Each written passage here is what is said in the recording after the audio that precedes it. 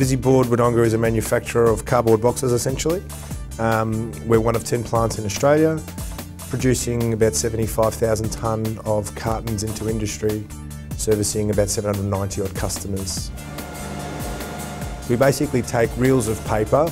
Visy is a, is a fully integrated company, vertically integrated company. We recycle, we manufacture our own paper and at this site we take that paper and make it into a fibre box.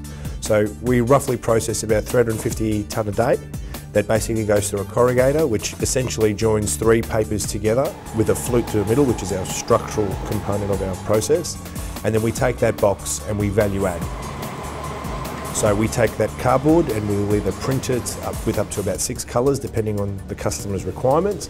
We cut it into a shape that suits the customer's process for packaging of, of goods um, and we'll also glue cartons together for customers' processes. So we essentially run three main lines of processes, corrugating, die cutting as we call it, and gluing or flexo folder gluing. So we have two shifts at Visy, um, a Visyboard Wodonga, uh, red shift and blue shift. So my position is red shift shift manager.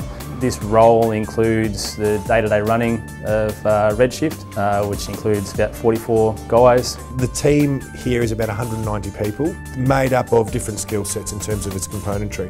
We run what we call different skills, so you've got your entry-level skill out on the shop floor um, which is basically a person who's starting to learn our process. You've also got your assistant level, which now is your skilled level. So that's a person that can actually run the machine as well as assist, as we call it, help with setups and the like, all the way through to an operator. And an operator is our, our, our top line skill. That's a person who's deemed appropriate in terms of being able to run machinery, very responsible in terms of uh, quality outcomes, safety outcomes and productivity outcomes out on the shop floor.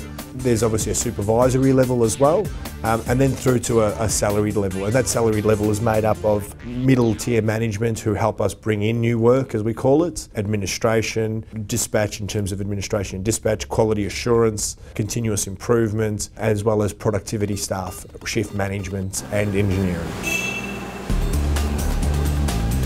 I like my job because the diversity, the different things you can do day to day. Uh, you've got 44 different people you're dealing with, different personalities, plus there's many different things you work on, projects and the likes with different areas, maintenance, technical team. I've worked at a factory all my working life and, and the careers and opportunities are, are amazing. Um, I, I, think getting into a plant initially can be seen as, as bottom of the run and it's not the case. The development thrown the, the technical understanding required is, is immense. Working in a factory is more than just what people think. It's not sitting on a line, pressing the same button day in, day out. The roles are varied. We ask, we ask our guys to innovate. Uh, they do innovate and, uh, and if they want, they drive their own careers. It's not just a, a, a, four walls and ignore it, it's a, it's a real career opportunity. It's a good place to work. I've gone from being a process worker to an operator of a machine. I've come in um, and worked in office roles, backup customer service manager and now to shift manager.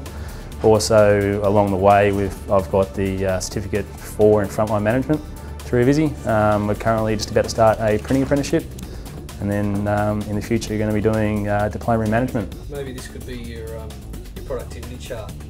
We try to, to drive careers through our business and when I say that we try to develop someone who may come in very green um, not a lot of skills, and try to develop them through. So we've got some really good examples of that. My, my factory manager at this site, as an example, is is a guy that was an operator on a machine, started off stacking boxes and worked his way through. I'm happy to sort of do anything as long as I'm progressing forward and obviously earning more money. In terms of developing our people, um, we've always valued people as driving our outcome. If our people are succeeding, then obviously the business is succeeding. There's a lot of training matrices, training plans, um, it's, it's been a long-term fact that Visy promote from within, so a lot of people who are senior managers now have come from, from the floor, so it's, it's acknowledging who the people are going to be who can progress in the company and what we can do to get them to take the next step. The one thing that, that I'm very proud of in terms of working for Visy is that it is a very large business. It's 133 individual sites across Australia with over 6,000 employees. The benefit in working for such, such a large business is the scope for growth. There's always an avenue in terms of career development. There's always an avenue in terms of process development. Um, the business does spend a lot of money on developing managers and, and individuals within the business to succession plan to end up in a different role. Um, the ability to move between states and even into the USA and Singapore, which is where we operate as well, is obviously available to us. But all, all done under the proviso that we obviously work for a family and we work for the Pratts. Um, it is a family business and it is valued as a family business. Big business, but, but managed by an owner who will walk through our business once every six weeks and, and say good day.